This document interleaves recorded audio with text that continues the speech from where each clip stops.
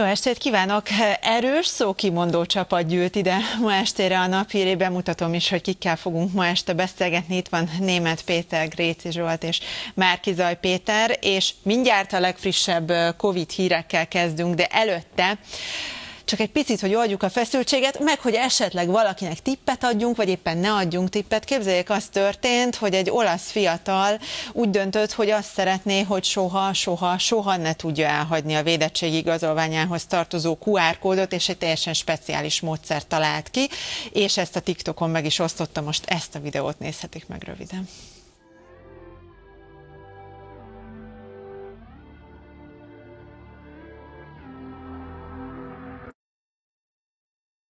Szóval igen, ez egy tetoválás volt. Ez mennyire szimbolizálja így azt, hogy hol tartunk ebben az ügyben, vagy ez csak egy jó poén? Hát nem gondolom, hogy szimbolizálna eh, magát, hogy jó, még, én még csak jó poénnak sem tartom, de ez egy másik kérdés. Én, hát kéznél van, milyen, vagy milyen, hát karnál van, vagy hogy eh, mondjam. Nekem ne, milyen a viszonyom a tetováláshoz, úgyhogy inkább arra eh, mondom, hogy nem egy jó poén lehet, hogy sokaknak tetszik, és még esetleg példát mutatnak, és most holnap sorba állnak QR kódokat. De ez a magyar QR kód meg nem jó. Tehát, ahogy emlékszem, hogy amit először rátettek ezekre a védettségi igazolványokra, ezeknek nem jó. Igen, azt meg kell nézni, hogy vezessen valahová, mert hogy az ember így oda tetováltatja, aztán utol. Képzeld el, hogy föltetoválja, és kiderül, hogy csak egy pici vonal nem stimmel. Igen. Oda teszi, és nem jó, és kezdhetik előről. Hát szóval inkább, inkább kicsit mulatságosnak tartom, de megértem az úr szándékát, de, de és mi lesz, hogyha lejár ez a kód például, tehát kell majd egy újabb, mm. és akkor majd a másik karjára is tetováltat egyet, vagy a homlokára. Szóval vannak még szabad felületek hát egyelőre. Hát lehet, hogy vannak rajta szabad felületek. De egyébként hősies munka volt, mert hát azért ezt, ezt sok pöttyöt meg vonalat eltalálni, azért az... Nehéz belegondolni, hogy ha elrontották volna, akkor mi történik. Igen. Igen. Na, de hogy kevésbé vidáman folytassuk a Covid-dal kapcsolatos híreket, ugye a legfrissebb információk azok voltak, hogy 134 új koronavírus fertőzöttet találtak, és egy beteg meghalt, és a Szegedi Tudományegyetem járványmatematikai kutatócsoportjától fogunk most egy nagyon látványos hőtérképet megmutatni, ami jelzi azt, hogy éppen fertőzöttségben hol állunk, meg összefoglaltuk a legfrissebb híreket ebben a témában. A Szegedi Tudomány Egyetem járványmatematikai kutatócsoportja ismét látványos hőtérképet készített, amelyen a sárgább árnyalat időben és korcsoportonként a magasabb esetszámot jelöli. Ez az ábra viszont világosan szemlélteti, hogy tavaly augusztushoz képest most több az új fertőzött, különösen a 20-29 éves korosztályban. Folyamatosan lehet regisztrálni. Müller Cecília az állami televízióban azt mondta, ne ringassuk magunkat abba a hídbe, hogy kialakul a nyáimmunitás. Akkor csökken a fertőzések száma, ha egyénenként válunk védetté az oltás révén. Az átimmunizáltak közül ugyanis csak kevesen fertőződnek meg. Közben a népszava arról ír, hogy mintegy 70 országból több tízezer részvevőt várnak a szeptember 5-től 12-ig tartó budapesti nemzetközi eucharisztikus kongresszusra, amelynek záró napján Ferenc pápa misézik majd. Ezen a napon akár a százezret is megközelítheti a résztvevők száma. Fábri Kornél atya azt mondta, bíznak abban, hogy a negyedik hullám nem a kongresszus ide alatt fog berobbanni, ugyanis külön járványügyi intézkedések, például kötelező maszkviselés, távolságtartás nem lesznek, és az arándokoknak a védettségüket sem kell semmilyen dokumentummal igazolniuk. És ugye azt is tegyük hozzá, hogy azt már korábban tudjuk, hogy a kollégiumi férőhelyek közül is sokat felszabadítottak, mint egy 5500-at, és lesznek olyanok, akiket meg plébániákon családoknál szállásolnak el. Na most, ha már csak azt nézzük, hogy a kontaktutatás mennyire működik, vagy nem működik, ha itt valami baj van, annak nagyon nehéz lesz utána menni, de aztán lehet, hogy, hogy nem kell ennyire tartanunk tőle, mert azért emlékezünk vissza, hogy korábban is az volt, hogy itt foci EB van, meg, meg sok rendezvény, és nem robbant be a járvány. Hát, ha azt, azzal a hírrel vetjük össze, hogy kiderült, hogy a bajnok, bajnokok ligája, a ligájának a döntője, vagy nem tudom melyik, vagy az Európa Bajnokság döntője, Európa Bajnokság döntője szuperfertőzőnek bizonyult akkor egyáltalán nem bízhatunk abban, hogy egy tömegrendezvényen ez nem fordulhat elő. Ráadásul, és nekem ez a legnagyobb bajom, hogy amiben nem változott a magyar kormány, ez a tájékoztatás. Tehát, hogy fogalmunk sincs arról, hogyha történetesen baj van, arról időben, megfelelő módon értesítenek-e bennünket. Kampányüzemmódban csinálnak bármit. Most éppen ugye aktuálisan Orbán Viktortól kaptunk e-mailt, személyes e-mailt, amit erre csak úgy zárójelbe jegyzem meg, hogy semmiféle felhatalmazást nem kapott a miniszterelnök, hogy az e-mailünket használja, ezt a regisztrációhoz. Hát ott a két X-nél lehetett sejteni, hogy a második X az... Igen, bár az Sok mindenre feljogosít. Hogy Orbán Viktor írjon e-mailt, hanem hogy járványügyi információt kaphassunk a ja, Most látszólag ez egy járványügyi információ, de valójában ez is egy kampányszöveg.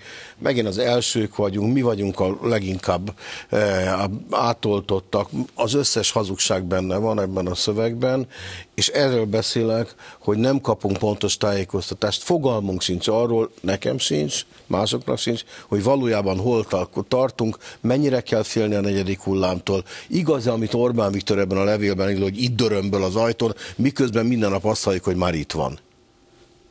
Azt szeretném mondani, hogy azért az sem pontos, hogy az eddigi tömegrendezvények után nem robbant be. Magyarországon haltak meg a legtöbben. 195 országból körülbelül az utolsó előtti helyen Peru megelőzött bennünket, de egyébként nálunk haltak meg a legtöbben, és ez azért van, mert egyrészt a kormány nem tájékoztatott, másrészt nem védekezett. Tehát az egyetlen mutató, amit Orbán hitelesnek minősített a védekezés minőségének a mérésére, az a halottak száma, és ebben Magyarország teljesített az egész Európai Unióban a legrosszabbul, sőt az egész világon is a második legrosszabbul. Tehát szerintem igenis nagy a kockázat. Nagy a kockázat abban is. Én magam egyébként ott leszek terveim szerint, megváltottam a jegyemet uh-huh. az Eukarisztikus Kongresszusra, illetve a pápának a miséjére, e, de valóban nagy kockázat van akkor, hogyha zsúfolva rengeteg különösen idős embert a világ minden tájáról összeeresztenek, és azt is látjuk, hogy több országban most már a halálozások száma is emelkedik, köztük Izraelben, abban az Izraelben, amely még Magyarországon is sokkal jobban áll átoltottság tekintetében, hogy Magyarország most már nem tartozik, még mindig nem rossz, de ugye most már Ausztria, Németország, stb. is megelőztek bennünket. De hogyha elmegy, akkor hogyan? Tehát, hogy milyen szabályokat betartva lehet ott viszonylag biztonságban lenni? Hát nyilván a távolságtartás az nem nagyon hát opció, hát egy tömeges mondjuk misén teszem azt, de a fertőtlenítés és a maszkviselés az bizony elfogadható lenne. Szerintem korábban volt, hogy miséket sem tartottak. Azt én nagyon fájlaltam mellesleg, tehát én azt gondolom, hogy megfelelő óvintézkedésekkel a Szent Misét mindig engedélyezni kellett volna, vagy szabad térben megtartani, tehát egy Szent Misét betiltani, az szerintem nem volt helyes, ez az én véleményem, de az nagyon helyes, amikor kihagynak egy-egy sort, amikor távolságot kell tartani, maszkot kell viselni, vagy éppen fertőtleníteni. Azt gondolom, hogy ez mindenki számára elfogadható. Szóval van, van ok aggodalomra. Azért is, mert ugye amiket a tanult kollégáim említettek, hogy egyrészt nem tájékoztatnak minket az égvilágon semmiről, másrészt pedig hát nincs oltási kampány. Tehát ugye azt ígérik, hogy majd lesz szeptember valahanyadikától újra... Most mondják, hogy augusztus 30-31, szeptember 1-2 a fiatalok kampányidő. De, de hát itt százezreket kellene még beoltani, és ugye még a harmadik oltásról is, hát hogy úgy mondjam, meglehetősen kevés információ áll az emberek rendelkezésére, mert nagyon sokan azt mondják, hogy én már meg vagyok a két oltással, engem most már hagyjanak békén, akik nem akarnak egyáltalán oltani, azokat nem is tudom, hogy mi hogyan próbálják meggyőzni, és hát ugye a harmadik oltásra is ugye például jelentkezni kell, ennek a egészségügyi hatásaival nincsenek tisztában az emberek, nincsenek grafikonok, tévéműsorok, szakértők, akik megmondják, és akkor most a szakértőkről meg csak annyit tennék hozzá, hogy ezek a fehér köpenyes szakértők, az egyik ezt mondja, a másik azt mondja, az egyik azt mondja, hogy nem lesz soha negyedik hullám, itt a másik azt mondja, hogy már rég itt van, tehát kinek higgyen az ember, tehát tájékoztatási probléma van, és hát azt kell, hogy mondjam, az Orbán kormány ebben nem hiteles, hiszen több mint 30 ezer magyar vesztette életét ebben De mit, mit kéne még mondani? Akkor például Muller Cecilia minden nap kiáll, és mondja az embereknek, hogy az oltás milyen fontos. Most például mondott egy olyan számot, hogy akinek megvan mind a két oltás, hogy 0,2% az újrafertőződés esélye, és hogyha valaki mégis megfertőződik, akkor enyhe tünetekkel, abszolút a kórházat, lélegeztetőgépet elkerülve lehet átvészelni. Szóval azért mondanak ilyen adatokat, amivel próbálják az embereket rábeszélni. Igen, ez mondjuk némiképpen szembe megy azzal a kampányal, amely arra buzdít, hogy harmadik oltást kapjanak be, hogyha 0,2% eh, valóban ez az arány, nincs okom kétségbe vonni Müller Cecília szavait, zárójel lenne. Eh, akkor, akkor ez a két dolog hogy jön össze? Miért buzdítanak harmadik oltásra, ha egyébként két oltás után is nulla, szinte nulla az esélye annak, hogy bármi bajom legyen. És hát hadd mondja meg, hogy miért. Azért, mert ők is rájöttek, hogy a két kínai oltás az nem elegendő, és a harmadik oltással kaphat mindenki egy harmadik típusú, ami magyarul nem kínai Igen, oltás, egy, kaphat egy nyugati. Mi nem az, hogy a Müller Cecilia, hogy a kínai is 0-2. Ezt nem meri mondani. Politikailag fölvállalhatatlan Igen, lenne nyilván. nekik, úgyhogy egy nagyon elegáns mozdulat, hogy azt mondták, hogy akinek két oltása van, kapott egy harmadikat, egy másfélét, és hát nyilván a 60 év felettieket célozták meg ezzel, teljesen egyértelmű, hogy ez a több százezer magyar, aki egyébként nyilvánvalóan felelőtlen módon Szijjártó üzleti érdekéből kaphatott csak két kínai oltást, az most tényleg kaphat egy nyugati. Igen, én viszont azt olvastam, hogy van olyan idős otthon, ahol két kínait kaptak az ott lakók, és most kapnak egy harmadikat. De nem kap kínait, mert ugye... De kína, ezt áperti... Idős otthonokban nem kínaival oltottak. De ki, ez volt nem? leírva. Ott, igen, én is úgy tudom, hogy ott Igen, mondom, ez volt leírva, hogy két kínai után most egy harmadik kínait kapnak. És erre volt orvos, aki áldását adta? Nem tudom, ez tényként van leírva. És hogy csókoltassuk a kormányt, éppen Sputnik gyárat akarnak építeni Debrecenben. De e, nem ugyanaz a kettő? Hát, hogy a kínai meg a Sputnik. jó, de hát, a Sputnikra azért de, azt mondják, de, hogy ez egy jó vakcina. Ott Sputnikot és kínai gyártanak majd. Debrecenben. Ezt mondta Szijjártó. Hát arra, arra azért nem garancia, hogy mondjuk az Európai Gyógyszerügynökség által javasolt termékeket mi nem olyat gyártunk, főleg ha az egyik az részben magyar uh-huh. szellemi termék. Tehát a teljes káosz, felelőtlenség és politikai kapkodás zajlik. Még egy pillanatra visszatérnek erre az Orbán féle levélre. Ebben megint azt szerepel... Ez, ez nagyon megütött téged. Hogy... Nagyon, nagyon mert, mert nagyon tisztességtelennek tartom magát a megfogalmazást is. Tehát, hogy újra arról beszél, mint hogyha átlépve azt a tényt, amiről az előbb a polgármester úr beszélt, tekint, azt tudni, hogy 30 ezernél több halott van. Úgy beszél, hogy kvázi mi megállítottuk és meg, megoldott, megfékeztük a harmadik hullámban a, a vírust, szemben másokkal, ahol még most is küzdenek vele. Ez van leírva ebben a levélben. És egy büdös szó nincs arról, hogy tényleg ennyi áldozattal járt, és főként egyébként a harmadik hulláma. Hol Én annak a levélnek az utolsó bekezdését tartom a legfontosabbnak, meg szerintem azért íródott, hogy mindenki győzzön meg még egy embert, tehát Igen. hogy megpróbálja a személyes... Szavazzon a Fideszre. Nem, az oltásra. Tehát, hogy megpróbálja arra ösztökélni az embereket, hogy vessék be a saját be, Ehhez előbb be kellene vallani, hogy a kínai oltás az olyan volt, amilyen, és azt kellene mondani, hogy ezt a kettő-három típusú oltást javasolnánk harmadik oltásnak, de ezt meg nem lehet kimondani. Ugye ebbe is akkor látnánk tisztán, hogyha, hogyha mondjuk lenne egy reprezentatív kutatás a kínai adta ellenanyag szintről. Mert hogy simán lehet, hogy a 60 év alattiaknál ez oké, okay, a 60 ez év felettieknek meg a negyedénél nem oké. Okay. Az életkorral persze ez az arány, ez nő de sajnos. Ilyen de... számokat hoztak ki, tehát is ennek a kínai sem annyira rossz, mint a semmi, azt lehet mondani. Igen. Ettől független felelőtlen olyan kínai vakcinát beadni a magyar időskorúaknak, amit a kínaiak sem adtak be a kínai időskorúaknak. Na, van még egy idézetünk a napmondata rovatunkban, ami egy picit azért lehozza az elvisikről a gyakorlati problémák szintjére, például a korlátozások kérdését. A mindenki által ismert Jocó bácsitól, tehát Balatoni Józseftől, történelem tanártól idézünk, aki hát egy kicsit úgy mondjam kiakadt azon, hogy hát igen, 20-án, meg például vadászkiállításkor, meg nemzetközi kongresszusokon nem kell félnünk a vírustól. Azt mondja, hogy mikor éppen veszélyes a járvány, akkor miért engedjük, hogyha nem veszélyes, a teltházas stadion nem robbantja be, a meccsen bárki szurkolhat, de mi nyugodtan félelem nélkül nem kezdhetünk tanévet, sőt 30 gyerekkel külön busszal egy erdei vendégházba sem mehetünk, hisz az tilos, mert nagyon kockázatos. Más az meg ugye maximálisan biztonságos. Szóval erre, erre a felemás helyzetre próbálja ő felhívni a figyelmet, ami Egyébként idős otthonokban is nyilván... elindult az aggódás, ahogy én hallom, tehát ugye azt hallják egyrészt, hogy akkor lehet menni mindenhova, és bármilyen nagy rendezvényt meg lehet tartani, de ott már jelentős aggódás van, hogy jön a maszk, jön a köpeny, jön a bezártság, megint nem fogják őket kiengedni az utcára. Ez nagyon rosszul hat egyébként ezekre az idős emberekre, a lelkükre, meg, meg de az egésznek nem lehetne a, a tesztelés, kontaktkutatás kettősével elejét venni ennek az egész bezárkózásnak? Hát nyilván elejét venni nem, de hatékonyabban védekezni, az biztos. Tehát az, hogy kezdettől fogva, és tavaly március óta a magyar kormány tulajdonképpen alig-alig tesztelt, mindig a leg, legkevesebb tesztet végeztett el, de az antigén vizsgálatot is ö, ö, pénzért hajlandó végrehajtani. Én már mondtam ebben a műsorban, Svájcban minden héten egy, egy ingyenest kap minden egyes kliens.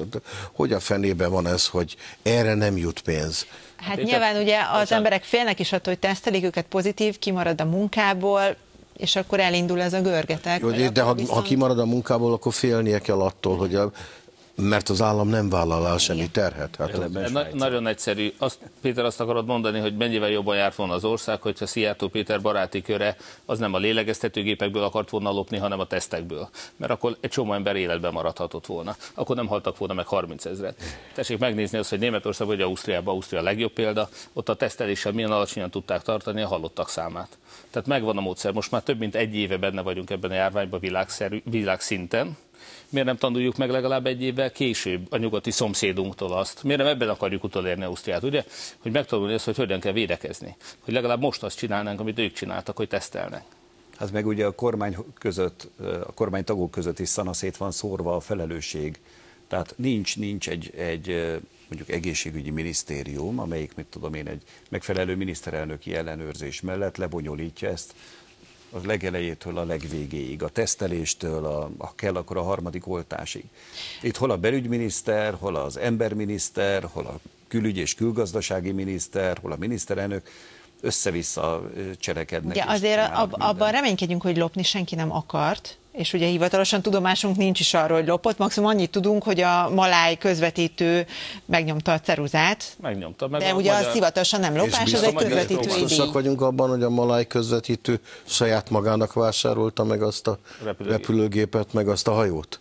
Biztosak vagyunk benne, hogy nem hát valaki más az ellen, ellenkezőjéről sincsen semmi. Nincs, én csak fölteszem a kérdést, mert mi csak, mi csak itt, itt olyan furcsa dolgok történnek, hogy a vízergép megy el Afganisztánba, ahelyett, hogy azok, azok a gép, amikkel egyébként a kormánytagok szoktak, HM használatú repülőgépek. De a nem létező falkont megmutatták a régi parádém. Úgyhogy annyival bejebb két, vagyunk. Két információt azért megoszthatok az emberekkel, azt gondolom. Az egyik az az, hogy a Szijjártó minisztériumához köthető cégek. Hogy az egyik egy lélegeztetőgép beszerzés, ahol pontosan ugyanazt a típusú lélegeztetőgépet ugyanattól a szlovén cégtől 4,5 millió több, többer vették darabját, mint a szlovének, és Szlovéniában ebben fél kormány belebukott, mint korrupciós botrány, náluk nem is vizsgálták. Minden egyes lélegeztetőgép pontosan ugyanaz a típus, ugyanattól a cégtől 4,5 millióval drágább volt. Vagy, amit szintén tudunk, hogy... De viszont vittünk belőle Mongóliába. Mert most már annyi van. Három géppel. A Sinopharm vakcinát pedig kétszer annyira vettük, mint Szenegál. Hát Szenegál egy átlagosan korrupt afrikai ország, mi miért fizettünk kétszer annyit érte? És egy budapesti Stroman cég volt. és sportjázóktól kell Igen. megkérdezni. Hát Viszont hogy... nekünk muszáj reklámot adni, de utána visszatérhetünk ehhez a témához is, meg még van budapesti költségvetési témánk is, úgyhogy tartsanak velünk.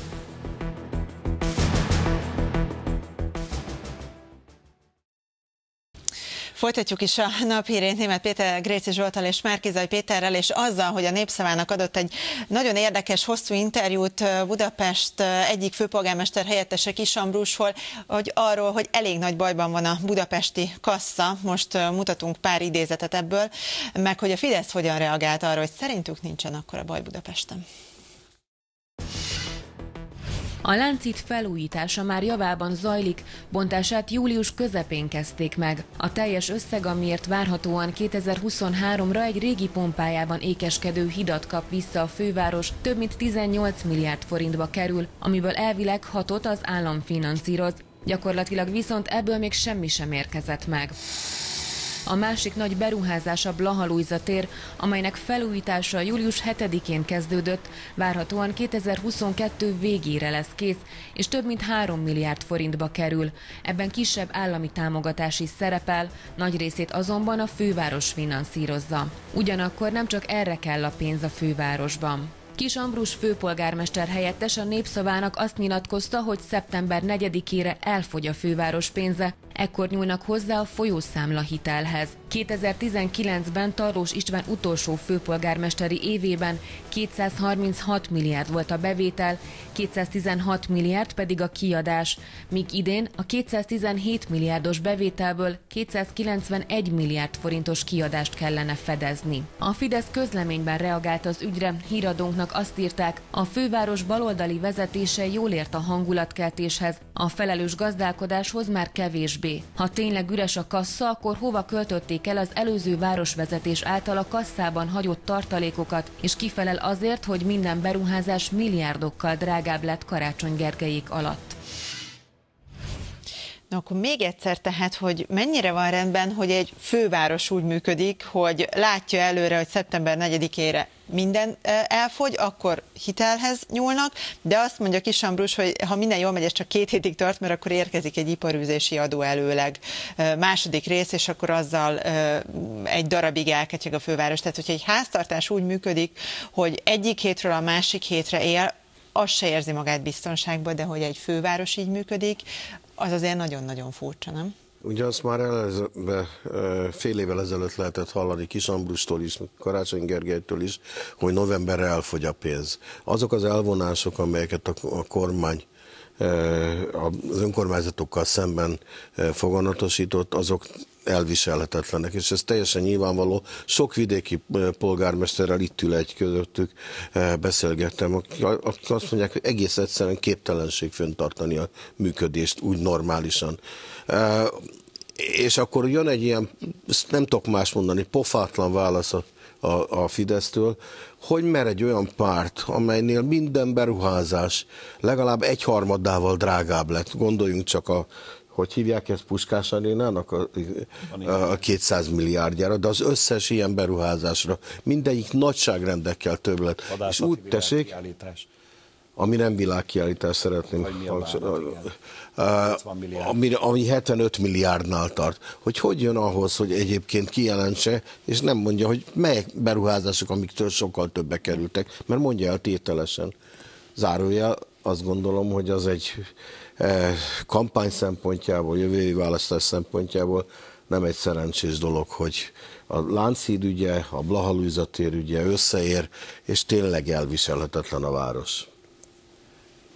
Hát itt azért minden önkormányzat mentségére mondjak el, hogy az adóbevételek azok egy-egy hullámban érkeznek, a kiadások pedig folyamatosak, tehát az viszonylag normális, hogy az önkormányzat az egy áthidaló hitelhez nyúl én ugye pont a másik végén ülök ennek a lónak, mert mi nem plusz pénzeket örököltünk, itt arról lehet vitatkozni, hogy 200 milliárd vagy 60 milliárd volt Budapest számláján, mi 10 milliárd mínusszal vettük át a várost, én ebből a 10 milliárd mínuszból három és fél év alatt már a kollégáim segítségével 5,5 milliárdot visszafizettünk, mi eltöröltük az adókat, a építményadót a lakosság számára például, csökkentettük a vállalkozások számára, és hál' Istennek egyelőre tökéletesen rendben van, a város is működik. De ami nem kétséges, az az, hogy a Fidesz politika alapon támogat és büntet önkormányzatokat, ahol pedig mindenütt élnek fideszes és ellenzéki lakosok is. A fideszes városokban is van 40-50 százalék ellenzéki és fordítva. Ennek ellenére most is a budapesti kerületek között kimutathatóan az ellenzékiek azok nem kaptak pénzeket, Hódműzővásárhely sem kapott, az, mi is három útnak a felújítására pályáztunk, az önkormányzatok 90-95%-a lehet, hogy kapott, de Hódműzővásárhely nem, budapesti kerületek, ellenzéki kerületek nem. A kormánypártiak persze mind kaptak. Tavaly december 24-én hajnalban a kormány az összes megyegú városnak, amelyik Fideszes vezetésű volt, adott 1,4 milliárd támogatást, és egyetlen ellenzékinek sem. Tehát én azt gondolom, hogy a legfontosabb ígéret, amit tehetünk mi ellenzékiek, az az, hogy ennek a pártállamnak a leváltásával mi párt szempontoktól függetlenül fogjuk támogatni tényleg az önkormányzatokat normatív alapon. Tőlünk nyugatabbra ez így szokás. Hát ez egy súlyosan nemzetellenes cselekedet, amit Orbán tesz, már csak azért is, mert nem csak az ellenzéki szavazókat sújtja, hanem a fideszeseket is. Tehát Budapesten, nem csak Budapesten, hanem a Hódmezővásárhelyen és a, az ország más, most már ellenzéki kézben levő városaiban is sok fideszes szavazó él, és velük is kiszúr a kormány, amikor nem adja oda a pénzt. Ez egyszerűen semmi más, mint büntetés és bosszú azért, mert az önkormányzati választáson 2019. októberében Orbán Viktor elvesztette Budapestet, és elvesztett 10 megyei jogú várost, és ma 3 millió magyarnak nem fideszes a polgármestere.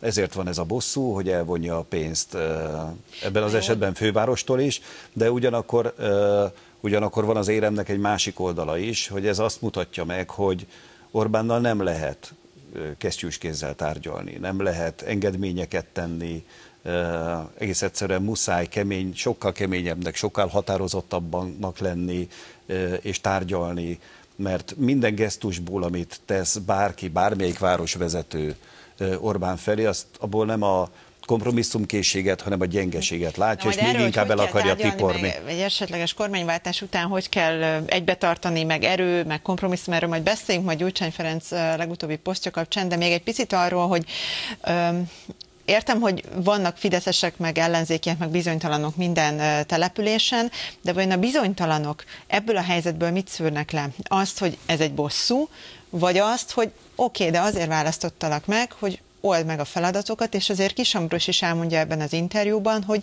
igen, a köztisztaság az nincsen rendben, de nem tudnak rá többet költeni. Na de aki mondjuk ezt látja, és a szemetes utcaképet látja, akkor ő lehet, hogy azt mondja, hogy hát sajnálom, az a feladat, hogy meg kell oldani. Nem lehet, hanem biztos, hogy ezt mondja. Tehát én azt gondolom, hogy minden városvezetőnek az a feladata, hogy akkor is oldja meg a problémákat, hogyha a kormány ellehetetleníti. És azt gondolom, hogy Budapest vezetése is meg fogja oldani a problémákat, ahogy Hódmezővásárhelyen is megoldottuk. Érdekes módon, amikor átvettük a város vezetését, akkor egyéves, meg hasonlóan régi kifizetetlen számlák voltak, egy milliárd forintnyi kifizetetlen lejárt határidejű számla volt. Most napra készen fizetünk. Tehát meg lehet oldani ezeket a problémákat. Olyan szoftvert vezetünk be éppen a kukák ürítésére, amit Budapesten már 8 kerület használ. Uh-huh. Sokkal hatékonyabb. Ugyanaz az ember, aki eddig lehet, vagy három ember ürítette ki a kukákat, most lehet, hogy egyetlen egy ember megcsinál annyit. Azzal, hogy GPS koordinátával, telefonos applikációval megy kukáról, kukára üríti ki, fotózza le, hogy hogy néz ki, miután ő ott hagyta. Tehát nagyon sok modern, gazdaságos megoldás van. Mi a személy szállításon 70 millió forintot spóroltunk. Jó, akkor a, most a kukaürítés szoftver titkaiba mélyebben nem menjünk bele, mert még van egy témánk mára, ami azzal kapcsolatos, hogy Kocsis Máté egy Facebook posztban arra hívja fel a figyelmet, figyelmet, hogy ő nem szeretné, hogyha a DK elnöke megmutatná, hogy hogyan is kormányozna ő. Ez a veszély ugye nem fenyeget, mert Gyurcsány Ferenc nem fog kormányozni, ő a feleségét ajánlja mindenki figyelmébe, de mutatjuk Kocsis Máté kritikáit. Felesége Dobrev Klára fotójával kampányol a DK jelöltjei mellett a baloldali előválasztáson Gyurcsány Ferenc a közösségi oldalán. A volt miniszterelnök azt írta, Együtt győzni fogunk, és megmutatjuk, hogy nem csak győzni, de kormányozni is tudunk. A Fidesz frakció vezetője szintén a közösségi oldalán reagált Gyurcsány posztjára.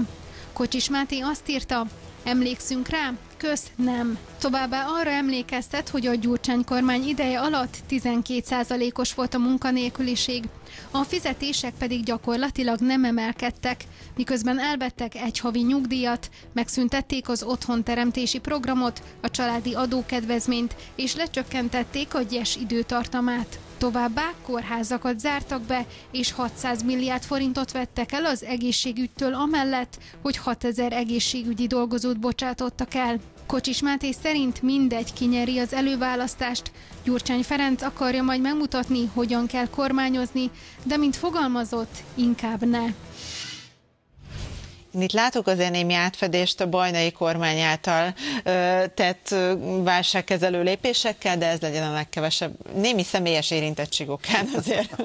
Hát egyrészt üzenem Kocsis Máténak, hogy a demokratikus koalíciót már egy millió szavazó támogatja. Tehát ennyien nem gondolják azt például a Gyurcsány kormányról, mint amit ő gondol.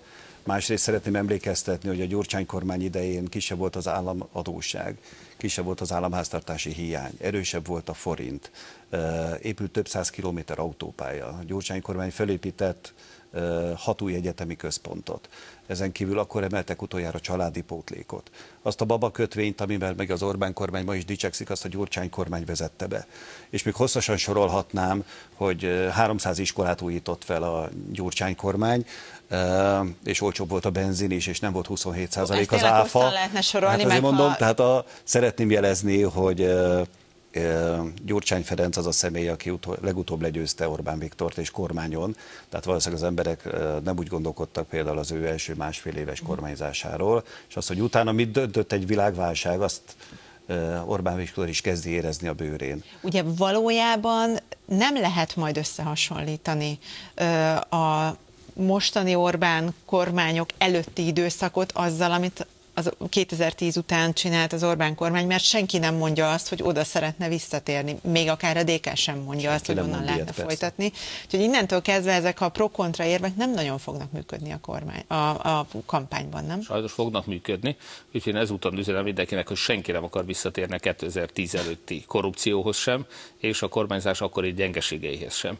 Mi nem csak a 2010 utáni korrupciót akarjuk eltalálni, hanem a 2010 előtti korrupcióhoz sem akarunk visszatérni. Úgyhogy szó sincs róla valóban. A szavazóknak egy igen, és nagyon örülök, hogyha egy millió szavazó már a TK-t támogatja, nyilván a többi 7 millió még nem.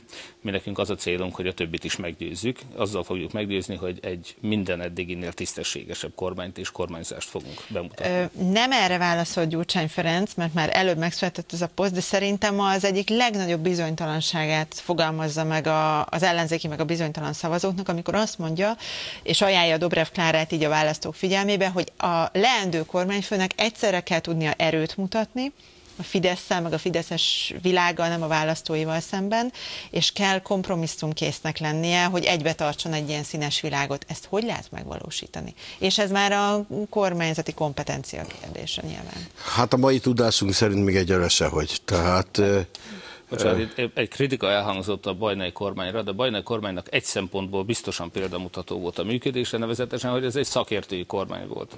Tehát most független azzal, hogy ez egy válságkezelő kormány volt, egy 2009-es óriási válságból kellett neki kihoznia. Egyébként a forint árfolyamát nyilván vissza tudta hozni, és nagyon sok intézkedést megtett a Fidesz helyett. Hát még egy ilyen kegyelmi akkor, állapot most nem lesz? Hát, akkor, csak ha, a, akkor a, ha akkor a bajnai egy megítélési történet azért az utókor számára.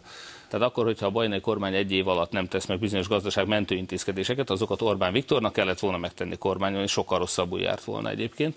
Tehát nyilván az ódiumát is elvitte ennek a mentésnek. De egy valamit akarok mondani, tehát hogyha hat párt vagy hét párt kerül kormányra jövőre, akkor egy szakmai kormányjal lehet csak kormányozni. A pártok, a képviselők a parlamentben a megrendelők, akik le tudják adni a közös programot, és utána egy szakértői kormány a szakmai alapon meg tudja valósítani. Ha a pártok szétosztják egymás között a minisztériumokat, a beszerzéseket, a Pont akartam kérdezni ebbe, mekkora az egyetértés, nem biztos, hogy nézők látták, de Grace is ott nagyon ingatta a fejét. Tehát, hogy hát, megfeledkezünk róla, hogy egy miniszterelnök jelölt is ül a körünkben. Hát azért abba, hogy mondjuk fontos posztokra szakértő emberek kellenek egy kormányba, abba azért talán egyetértés van. Nem, nem. Én hát, hogy nem biztos, hogy pártpolitikusok. Abban, abban nem így gondolják még, de én azt abban gondolom, egyetértek, hogy legyenek olyanok, akik értik azt a szakterületet, de olyanoknak kell lenni, akik egyben birtokolják azt a kormányzati többséget, amelyik az országgyűlésben meg kell, hogy szavazza ezt. Az nem úgy működik, hogy néhány szavazógép a parlamentben megszavazza, és néhány ember, akinek pedig mondjuk, hát hogy úgy mondjam, a, nem érti a politika alapvető működését, hogy azokat a törvényeket, amiket a kormány szakértője kitalál, azt meg is kell szavazni a parlamentbe, és azért annak a minden társadalmi következményét azok vállalják, akik az országgyűlési képviselők, és hát ugye, ha már a bajnai kormány szóba került, minden tiszteletem Bajnai Gordoné, de egyrészt azt a válságkezelő munkát egyrészt Gyurcsány Ferenc kezdte el, az a két első válságkezelő csomaggal, és hát ha mindig a szemére vetik a, a, a, annak az időszaknak, hogy akkor elvették a 13. havi nyugdíjat. Hát ugye Gordonnak a pártpolitikai kísérletei, amikor próbált visszatérni és pártot alapítani, többek között ezért nem volt sikeres, mert az ő kormányzásának a megítélése az úgymond nem annyira pozitív, mint amennyire esetleg sokan Én ezt gondolják. a kérdést még nagyon szívesen folytatnám, hogy akkor... És így most belefolytottuk a Péterbe Igen. a szót. De legközelebb, legközelebb is. Nem, itt, itt maradok és megbeszéljük. Jó, mi megbeszéljük. Hát önök most a híradót tudják nézni, utána pedig az egyenes beszédet, és tudják, ma is lesz Vox. Jó kis vita lesz, mert hogy itt lesz El Simon László és Hiller István, és Simon András lesz a műsorvezető. Tartsanak velünk.